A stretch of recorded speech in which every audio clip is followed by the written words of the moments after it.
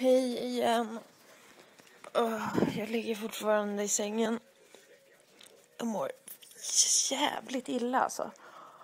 Det kom nu. Jag har fortfarande störd huvudvärk. Och jag har inga huvudvärkstabletter. Och klockan är liksom över sex och jag fattar inte att den inte går över. Um, oh, nej men jag har ju legat där i sängen hela dagen alltså. Jag har bara varit, Oh, köpt hamburgare och så varit, går och hämtar vatten och går och kissar typ. Um, ja, nu ligger jag och kollar på um, toppmodell tror jag. Så jag tänkte dricka kaffe men jag tycker att det kanske inte är så smart. Bara vill försöka somna tidigt. Ja.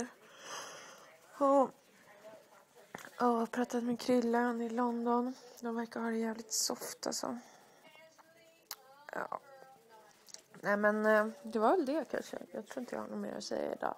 Jag kör lite fler sköna filmer imorgon tror jag. Eh, godnatt.